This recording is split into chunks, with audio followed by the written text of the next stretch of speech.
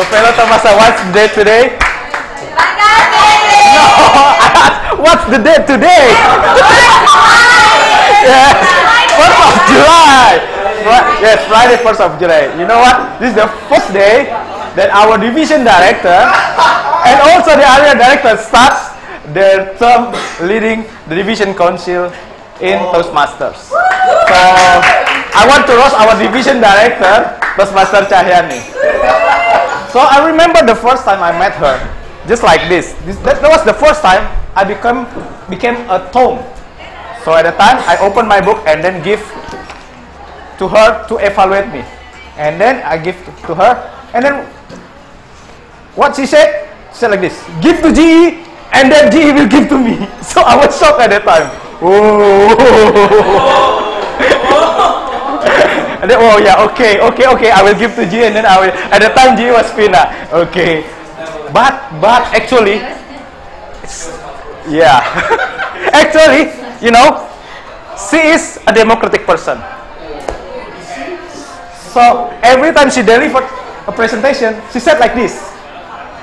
A, a, demo, a democratic person said like, if you have question, please raise your hand. If she's not a democratic person, she would say like this: If you have question, raise your hand and put in your mouth like that. so she's a democratic person. And after that, we become knowing each other, and then we start to practice. There's one quote said, "Practice makes perfect," right? But nobody's perfect. Why we must practice?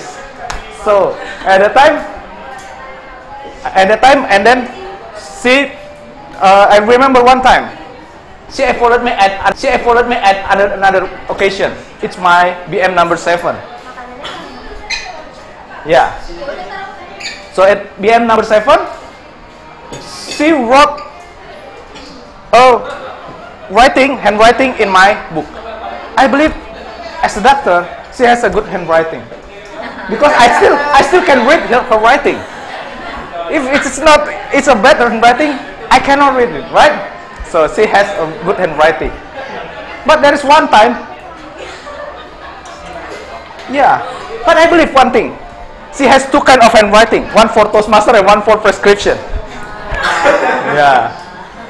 So the, the prescription one cannot be read. So one time, she wrote in my evaluation a word like I met in Borobudur temple. so Couldn't read it at all. And I said, maybe she thought that I was ill.